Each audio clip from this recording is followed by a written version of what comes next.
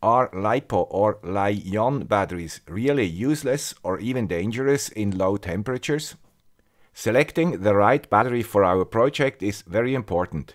Today I will focus on which battery works best in low temperatures. Grüezi YouTubers, here is the guy with a Swiss accent, with a new episode and fresh ideas around sensors and microcontrollers.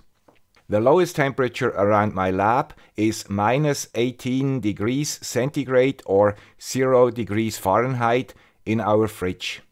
Why do we know it's really minus 18 degrees? Because this is a German fridge, and as we all know, these guys love precision. If you are interested in the topic batteries for makers, you find a playlist on this channel.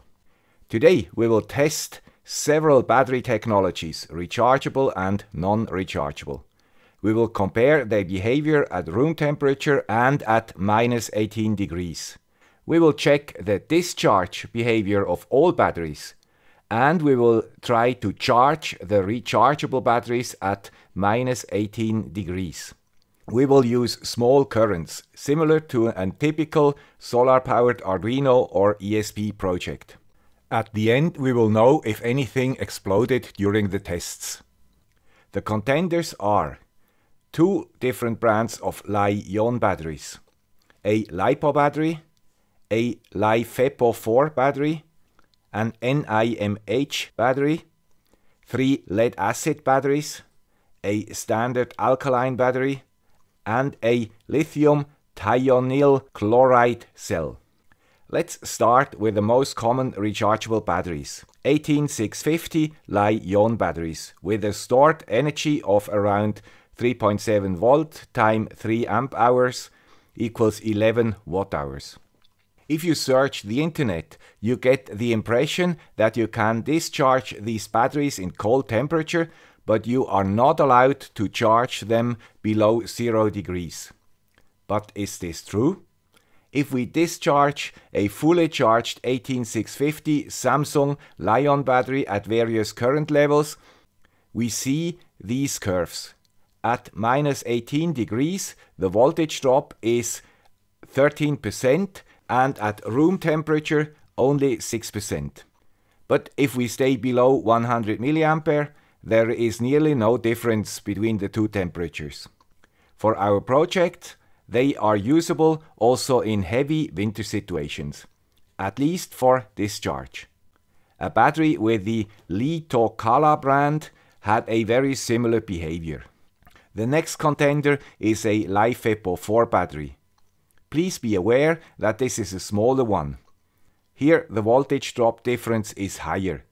In the area below 100 mA, the difference is bigger than the usual Li-ion batteries, but also not significant. LiFePO 4 batteries can also be used in very cold weather situations, but they have no advantage over the standard Li-ion batteries. Now we go to the oldest technology, lead acid. It is used in cars and is well known for its performance also in cold weather. Most of us know the 6 cells 12 volt versions. Here I have a standard battery for motorcycles. It is quite heavy and its stored energy is 12 volt times 4 amp hours equals 48 watt hours, similar to four of these 18650 batteries. This comparison shows why Li-ion batteries are used everywhere these days. The lead acid battery has also no price advantage compared to a Li-ion battery pack. For small and light devices, these big batteries are useless. You also have to keep them upright, otherwise they will spill acid. And from time to time you have to refill water. The motorcycle battery maintains its voltage quite well and is also capable of delivering 10 ampere in cold weather.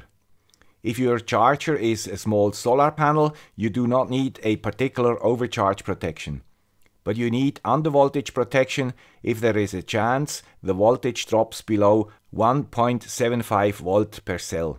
We can also buy smaller batteries with similar chemistry. They only have two cells and therefore around 4 volts, which fits quite well with our devices. They are used in toys and I have two versions here, a small one and a big one. The big one should have a capacity similar to a 18650 Li-ion battery. The small ones should have a tenth of it. They definitely cost more than a comparable 18650 battery for the same capacity. Their behavior in low temperatures are okay. Do not expect too much current from the small one. If your case is small, you might be happy to use such a square LiPo battery. These batteries behave similar to the Li-ion batteries.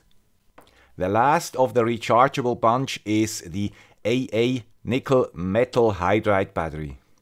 It has a nominal voltage of only 1.2 volts. Also this battery is smaller than the 18650 and definitely cannot be used for high current applications in low temperatures. At 100 mA it can be used with a boost converter to create the 3.3 or 5 volts. Now we go on with non-rechargeable batteries. The first is an AA alkaline battery. This type is not well suited for high currents, but it does not care too much about temperature.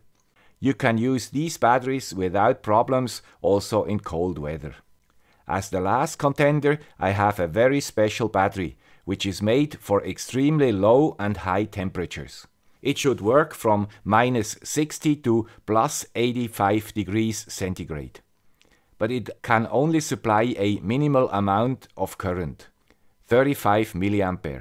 This is why I test it just up to 100 mA. It is definitely not made for high currents. The datasheet says that already at 35 mA its voltage falls below 3 volts. If you want to use this technology for your devices, you definitely need bigger batteries, like this one here but they are quite expensive. We forgot to answer the most critical question. Can we charge our batteries at freezing temperatures? As an engineer, I always try to find similar situations to learn. For Li-ion batteries in cold temperatures, we have a perfect example. Norway subsidizes e-vehicles and already has a high share of those cars which use Li-ion batteries. And Norway is a northern country with hard winters. So it must be possible to charge these batteries also in cold temperatures. If you browse through the forums, you find out that e-cars charge at low temperature, but at a lower rate, which is not a big issue for our application. We just have to make sure our solar panel is not too big. So let's check a freezing 18650 battery and put it in a 1 ampere charger. No problem, it starts to charge at minus 18 degrees without problems. Also all the other rechargeable batteries. The Samsung datasheet shows that the capacity and maybe also the efficiency is not as high in freezing temperatures. I did not check that. If we want to use this technology for our projects, we have to add a bigger solar panel and higher capacity batteries. This definitely adds cost. Summarized. Fortunately, nothing exploded. I have to admit, I put the Li-ion batteries in this metal case before I froze them the first time. LiPo and Li-ion batteries can be used at least down to minus 18 degrees if we do not use high currents. They are the best choice for most applications because of their size and price per capacity. But because they lose capacity and maybe also efficiency, we need bigger batteries and bigger solar panels. If you want to work inside specifications and have enough space, lead acid batteries are the best choice. They do not suffer at all in winter and are known for more than 100 years and they do not lose as much capacity or efficiency. For very low power devices, alkaline is the best choice. It has no problems with cold weather. LiFePO 4 batteries did not behave differently to the other rechargeable lithium batteries. They have no advantage in winter. Nickel metal hydride batteries are not a good choice. They suffer a lot in cold temperatures and price performance is not very good. The only advantage is that they are a direct replacement for alkaline batteries for many applications. Lithium thionyl chloride cells are the best choice for commercial applications where you have to work inside supplier specifications. Pay attention that you buy one which can support the needed peak currents for your usage. Unfortunately, I was not able to test lithium titanate batteries because the supplier was very slow. These batteries seem to be better at low temperature, but their nominal voltage is only 2.3 volts, which makes it challenging to get charging and protection devices. I hope this video was useful or at least interesting for you. If true, please consider supporting the channel to secure its future existence. You find the links in the description. Thank you. Bye.